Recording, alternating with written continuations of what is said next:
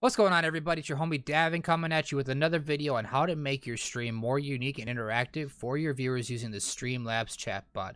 This time we're going to go over currency and ranked, so let's get right into it.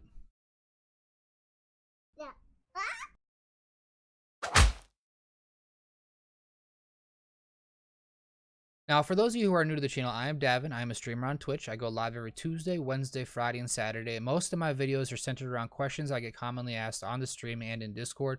So if anybody feels like they want a certain video made or the way I do certain things on the stream, feel free to ask in the comments below or swing by the stream and ask right there in person. I have no issues answering the questions live.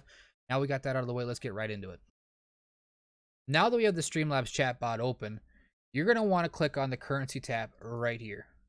And what this will do is open up the currency screen, which will come up with a bunch of names, ranks, points, hours, based on how much people have been contributing to your stream since you installed the Streamlabs chatbot. If this is the first time you've opened Streamlabs chatbot and you haven't streamed at all, this screen might be completely empty. Now, the reasons that I think currency is a very, very important tool to have and is very, very useful is simply because it allows you to differentiate the regulars, who's coming in your stream constantly, who's the one that's always there when you're going live. It'll allow you to give them different features, different interactivity. It'll allow you to add a personal flair to your stream, uniqueness to it. I just I just love the currency system. It just adds a whole different dimension to interactivity with your chat. Now, once you have the stream open, the first thing we're going to do is we're going to go up to the little cogwheel on the top right. If you hold over it, it's going to say settings. We're going to click that. Now the screen you're going to be looking at is called the global currency settings. And what this is is this is where you're going to customize your point system, how you award points for the currency. First thing you're going to want to do is right under name right here is where you're going to name your currency. For example, I call mine gears. All my ranks are based on droids from the Star Wars series. And I thought calling something droid centric like gears would be a fitting name for my point system. Now, the command over here is exclamation mark points. That's the default command. This is the command your viewers are going to come type in if they want to see how much currency they have in your stream. They go in your chat, they type exclamation mark points, and it will list off this response right here. I keep it points simply because it's a very universal command and a lot of people know it. It's very easy to remember. Once they type in the command, the response will then say username ranked hours, hours, currency name points. For example, Davvon rank C3PO hours 72 gears 7280 very simple. Now the next part right here assign ranks based on x amount of points or hours spent in chat. This is essentially allowing you to assign ranks based on hours or points. Automatically become a regular at hours or points. I do hours simply because sometimes people will be in your stream watching that you don't even know are there. And this will uh, give them a rank or a regular tag simply from watching your stream. It's very, very cool to see somebody has put in hours watching your content, but hasn't even made themselves known or said something in the chat other than maybe dropping a follow. Now, if we come down here to intervals, there's online interval, offline interval. This is essentially how often they reward points based on whether you're online or offline, them being in your channel.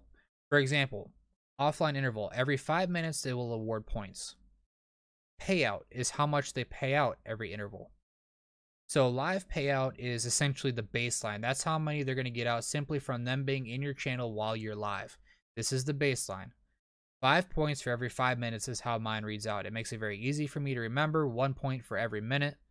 Pretty simplistic. Offline payout, I keep mine at zero. It's up to you how you want to do it, but that's how many points people get for being in your channel while you're offline. Then you have stacking bonuses. This is that regular threshold. If they hit that 200 hour uh, threshold, they get extra bonus points on top of the baseline simply because they've hit that regular threshold.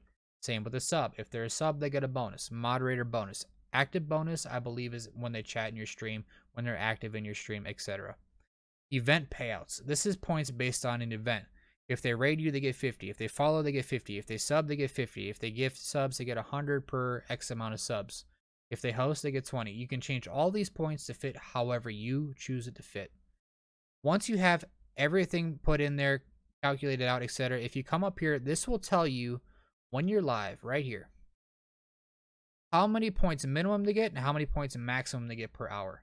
With my settings, taking the baseline account, they get 60 points an hour at the minimum, or they can max it out with all the bonuses and everything at 240 points an hour. It's something to keep in mind when you go into set up your ranks. All right, so now that we got a pretty basic setup set up for the uh, currency system, we're going to go back over here to the regular currency screen. And now that you kind of understand how the currency work, all the hours and points and everything, how it's all calculated, kind of makes a lot more sense to you now. Now we're going to go into rank. If you go up here to ranks, you click the little crown icon in the top right. It will come up. It will most likely be empty if this is the first time you're doing it. You can then add ranks based on point thresholds or hour thresholds. You hit the little add button here you type in, you know, example one.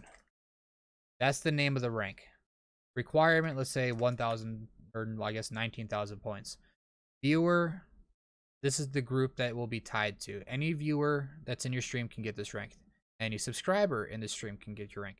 Mod only can get this rank in your stream. Did I say rank in your stream? Either way, you hit the submit when you're done. If you wish to edit a rank, you click on Star Wars Droid, for example. That's my my example one we're going to use here. And you click the little pencil, you're able to edit the rank and change all of the requirements and whatnot we just went over when we are setting it up. That's how you set up your rank. Now, if you go back, you will then see people be assigned a rank based on the points or the hours that you deem to set up. And now that we got kind of a basic rank and currency system set into place, I can now show you kind of an example or two of how to set up something so that the people that have supported you the most have special privileges compared to you know somebody that might be brand new to the stream or not a regular per se. So if we go back into the sound files, we went over this last time that we the last video that I, I made for Streamlabs chatbot. And if you go into sound files, you open up one of the sound files you have. Maybe you don't have any. You can do a plus here. We'll just add a new one, right? You set up all the information, which again, I went over in the last video, automatically generate command, and you'll see down here, permission, everyone, or regular, minimum rank. You can set up the rank that they have to be in order to use a command. You can set up the cost, which ties directly in the currency that you just set up. That way, only people of a certain rank can use it. Only people have a certain amount of currency can use it it gives extra back in, extra incentive to those people that have put time and support into your stream. Now, on top of all the sound files and stuff like that you can do with the currency system, there are other options in here that you can do for the currency rank system that I haven't delved into too hard, but they are there. I know of others that do do them. Song requests, I don't recommend doing this anymore. DMCA strikes are coming down pretty hard on Twitch now you can do it if you want to take a chance, but it is possible, just like through the sound files, in order to add a you know minimum rank, minimum points, etc. They can request songs. They'll play through the stream. They can listen to them. Again, be careful with copyright strikes. I don't recommend doing it anymore. Now, if you go down to mini games, they have mini game options for heists, duels. You duel somebody, etc. It's going to cost X amount of points. You fight a boss, you get paid out, etc. If you go down to betting, you can bet X amount of points or whatever, and then you can have a certain chance of winning. You get paid out based on that.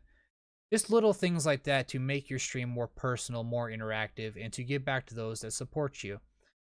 Again, I think the currency and rank system is huge. I think it's a great feature to have on the Streamlabs chatbot. I do recommend it for just about every stream out there.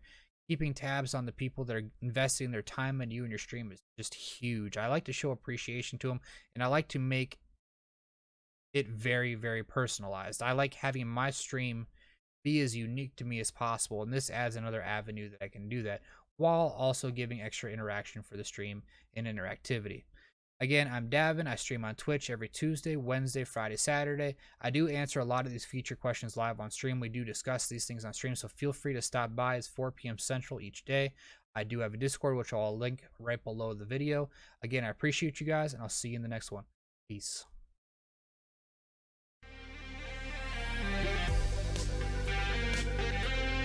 Don't I get some music for this? Nope. How long will that go? You said 30 seconds. How long have I been going? 10. I right? I have no idea. I'm not even watching. Uh, no comment.